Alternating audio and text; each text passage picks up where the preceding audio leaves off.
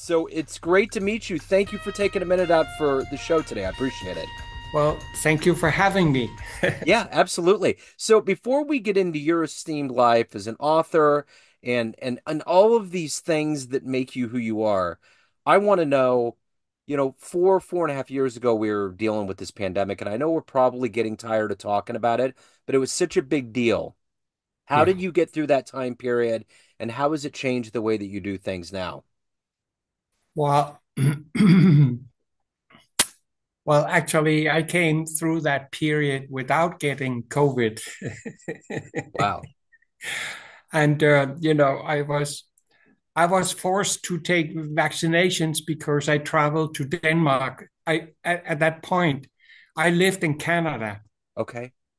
I've been living in Canada for 17 years and just moved back to Denmark three months ago.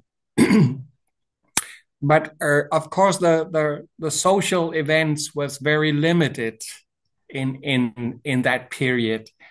So but i did some uh, uh, you know zoom consultations and and seminars uh, uh, to get by. That's that's how i did that. Yeah. yeah. Yeah.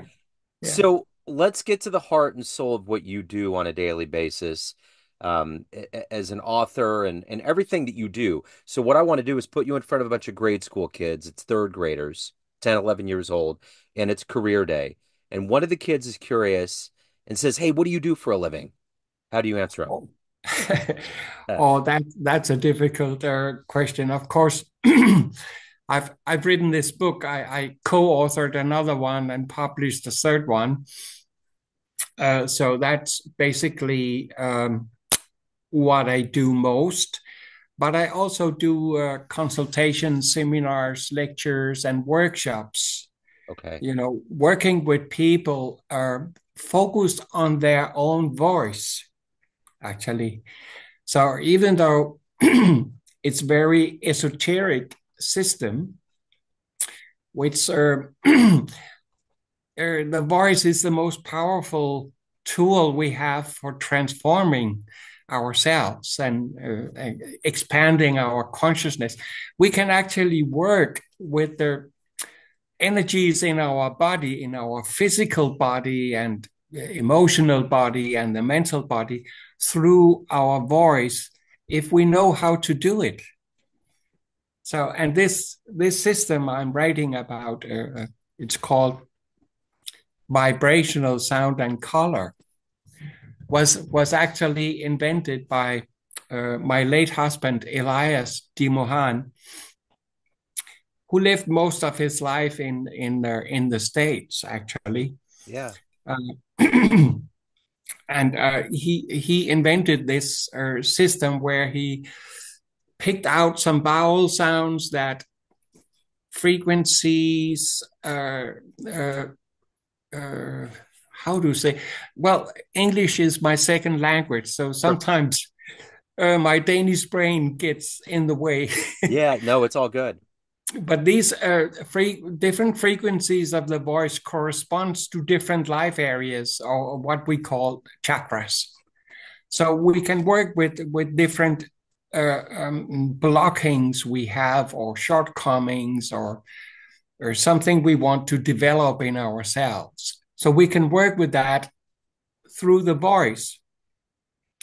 And, and he combined that vowel sound with a color that also correspond to her chakra.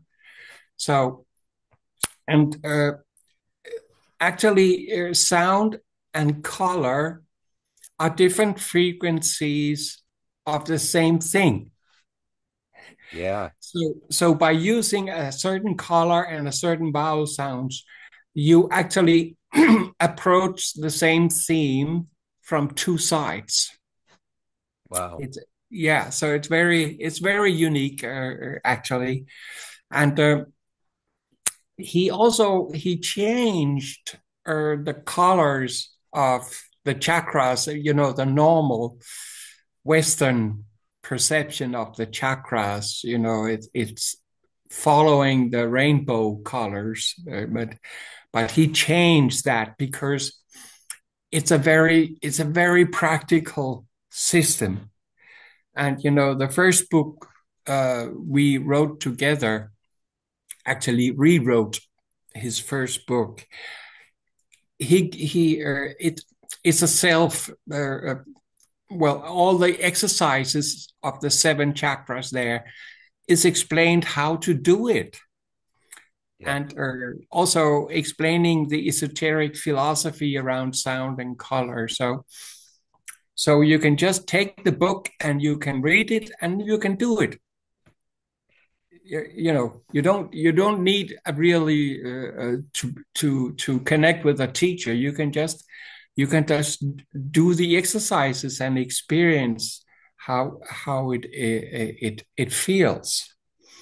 So and so in my new book uh, i also describe some uh, exercises some meditations actually. So people can can and just pick the book up and read about it and try it out you know? Can you show us a copy you got a copy there with you? Yeah i uh, this is the new book it's called uh, journey towards soul consciousness yeah and um well there is a reason why i i i picked that title journey towards because I cannot define what soul is. I haven't met anybody who could. Yeah. Uh, you know, so so it, but it's all about the journey. Every everybody has to experience their own process. That's that's one of my major uh, what I want to give to people. You know, to to mm, to make them believe in in that they can do they can do it yeah. they can do it themselves and you know this is not this is not a system that demands a guru or a master or anything you know i encourage people to uh, uh, to take what they can from this system and put it together with what else they have experienced yeah. of good things that help them so they can actually make their own system.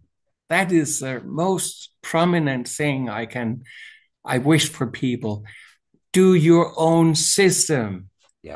And you can take from there and there and there and put it together and shape it into what you feel like. You know, instead of many other systems, you know, you, the student have to adapt to a system but many times they leave themselves trying to be something they are not. Yeah. So I want to go the other way around. Yeah. Say, you have to be who you are, both the good and the bad. Actually, the bad things are very good because that is the stepping stones in in expanding our consciousness. You know everything starts with that.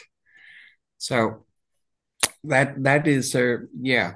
So in in in this new book journey towards soul consciousness i devote quite uh, some pages on on on on the ego what we call the ego. Yeah. Because uh, you know uh, if you are on a spiritual process you know you you definitely have to know something about how does the f- ego function?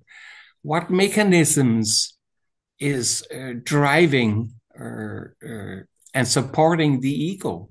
Because if you don't know the difference between your ego and your what what can we say higher self you're bound to go in a circle. You don't go anywhere. You don't go anywhere. So i devoted some space in the book to to talk about write about the, the mechanisms um, defense mechanisms is what we call it, and also some other other issues that comes with the ego, like uh, uh, uh grandiose, uh, uh, the, the, the self-centered grandiose uh, behavior and thoughts of, of the ego.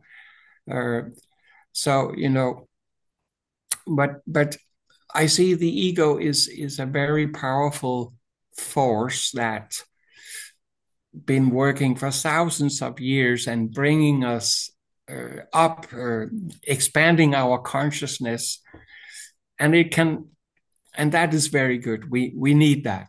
Yeah. But we also need to go beyond that, and then when we are ready for that, we have to discover how the ego works to transcend it. So that that's also in uh, I'm writing about this uh, also in in uh, in the book. So I interviewed a musician from Seattle some years back. He's a Yeah. brilliant saxophonist and he's blind and he came up with this concept of having a show that sh that that projected either via lasers or light sounds that he was making. And he had this whole orchestration set up. And it just makes me think about what you're talking about, this kind of Yeah. amalgamation of it. And, Yes. you know, him using his senses, his auditory senses, which are much stronger than ours. Oh yeah. fascinating explaining how the colors come together. And it just reminds me of what you're talking about. Yeah. You know, uh, I've I studied music therapy in Denmark, and, and you know there are there there are also uh, methods developed uh, for deaf people where the music is translated into light, different colors. Yeah. So the, the deaf people can can feel the rhythm through the floor and, and the loudspeakers, and then they can see uh, the the colors actually. So uh, another another method that that has nothing to do with with colors, but you know, with people who has spastic tensions in their body. Uh, a, a, professor designed uh, a box with big loudspeakers. They were lying on top of big loudspeakers. And then he played loud music up. And the, the, the spastic tensions in the muscles released itself. Wow. You know? So, so the power of the sound is tremendous. Absolutely, you know? it is. Yeah, yeah. It, it's a fantastic uh, uh, source, and and you know every every person has a different voice. Yeah. yeah. so so our voice is actually uh, a sound wise fingerprint. Yeah. Unique finger fingerprint of who we are. Yeah everything everything almost everything in us uh, our personality and ego is is reflected in our sound so yeah. usually we are not aware of that right but uh, you know and, and, even many many people are afraid to to listen to their own voice when it's recorded. Yeah right. Yeah they say oh no no no no no no.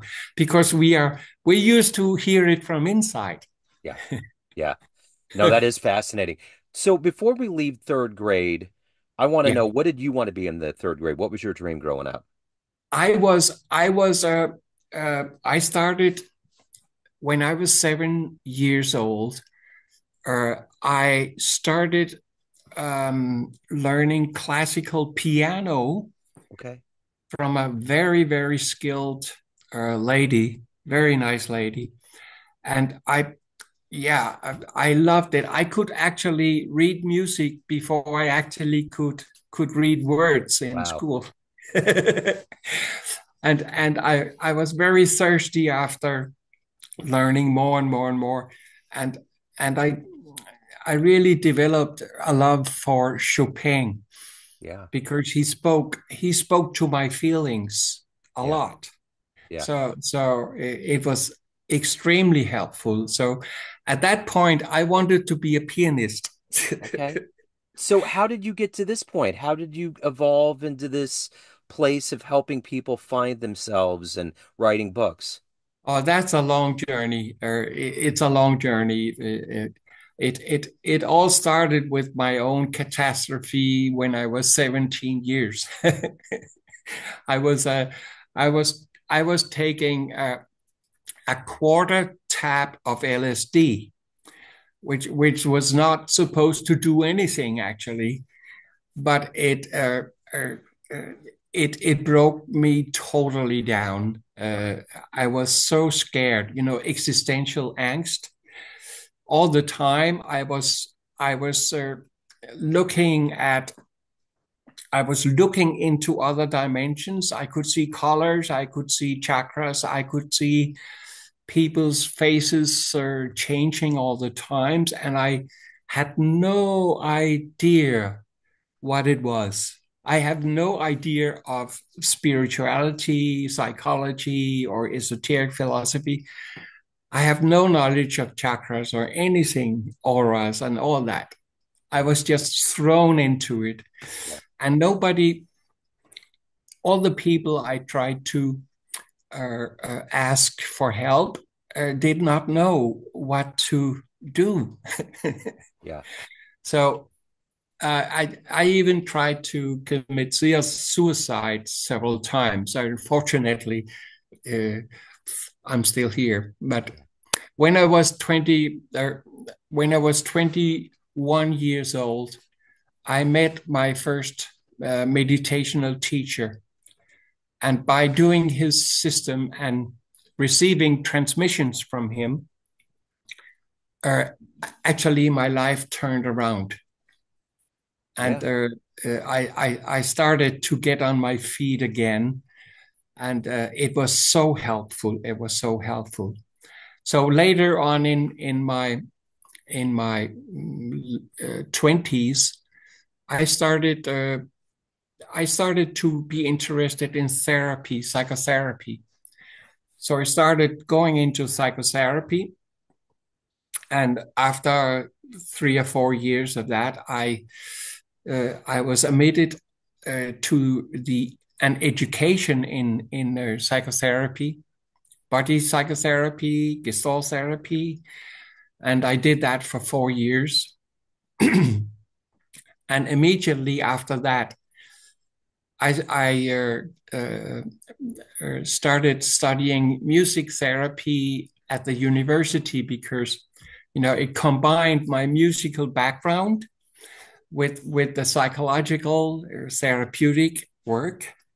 So there was a, a fusion uh, there, and and uh, yeah. So I'm a late starter in in life, but and then there I started uh, I started working with people uh, uh both in in uh, social habilitation in the public system in Denmark and later on teaching psychology and psychiatry uh, at the health school.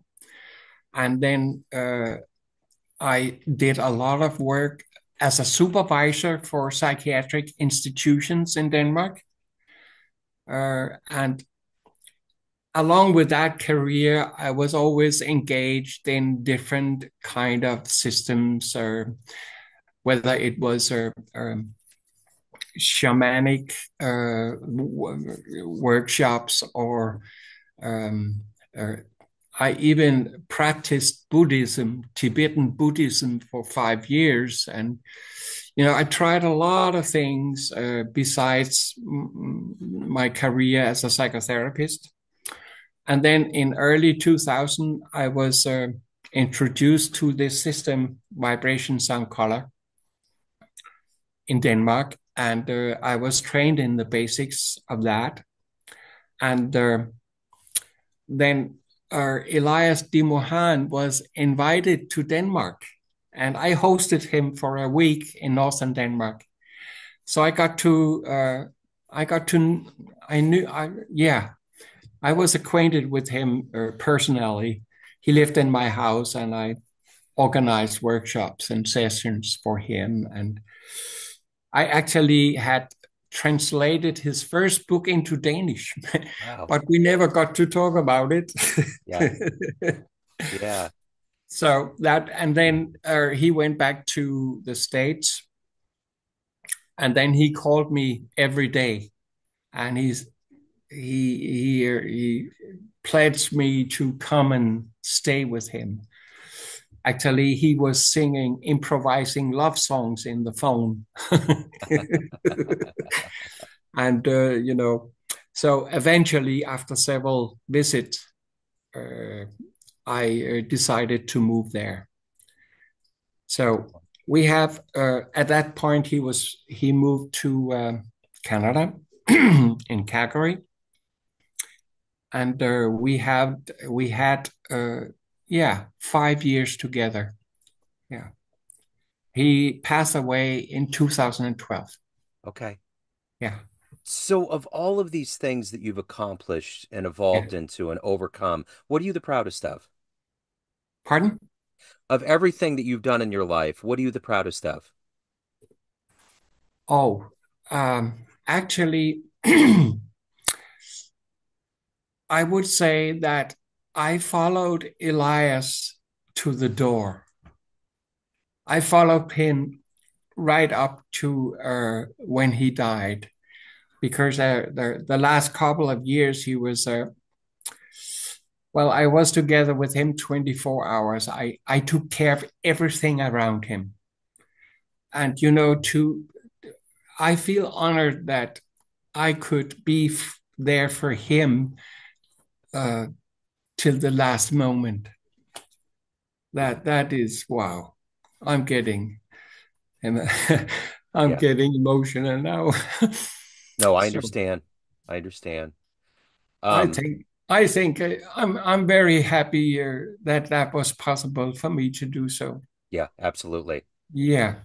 That's kind of the meaning of life, really, unconditional love. I think there's a lot that goes goes into that. Um, so if anyone wants to pick up your book, they want to Yeah. reach out, they want to hire you, they're curious, we've Yeah. scratched the surface. How do they do that?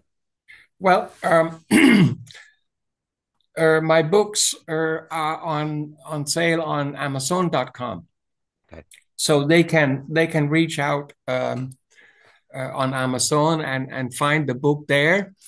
And uh, I have a um, I have a Facebook uh, also, and there's my contact information. And uh, you just Google Ram Raphael De Mohan, and then the books uh, and and and the Facebook uh, will come up, and you just click in, and uh, the contact informations are on the Facebook. Excellent. This has been wonderful, Raphael. I appreciate you being raw and open. What a wonderful story. Thank you, sir. Best of luck with the book and everything else. I appreciate it. Thank you, thank you for having me, Joe. Absolutely.